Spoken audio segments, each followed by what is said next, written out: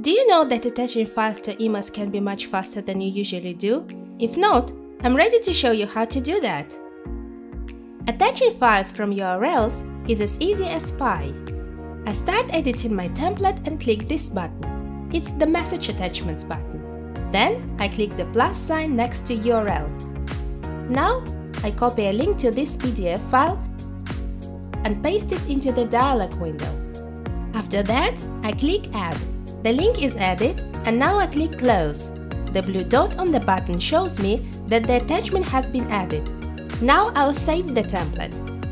Click the Insert button and the email with the attached file will be ready for sending. You can attach a file from OneDrive with just a few clicks. I select the Message Attachments button, then I click the plus sign next to OneDrive. I find the file I want to attach, double-click it, and then click Close. The blue dot here says that the file attachment is added. I save the template. Now I click Insert. As you can see, the attached file is in place. If you want to attach not a single file but all the files from a folder in OneDrive, there is no need to waste time adding them one by one. You can do it in one go. I select the Insert macro button and double-click Attach all files from OneDrive folder.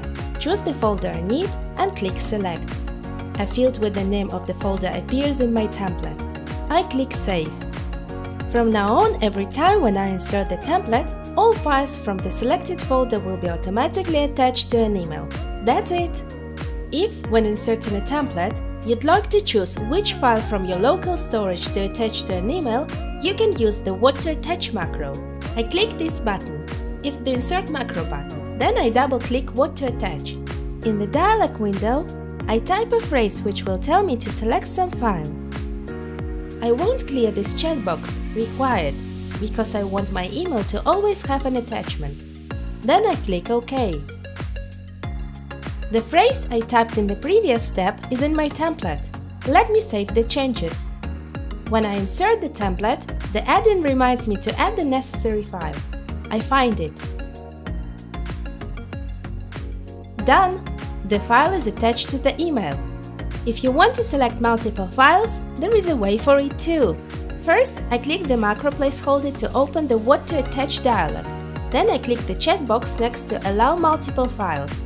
I click OK and save my template. I'm good to go. When inserting this template into an email, I can attach more than one file. It's as simple as that.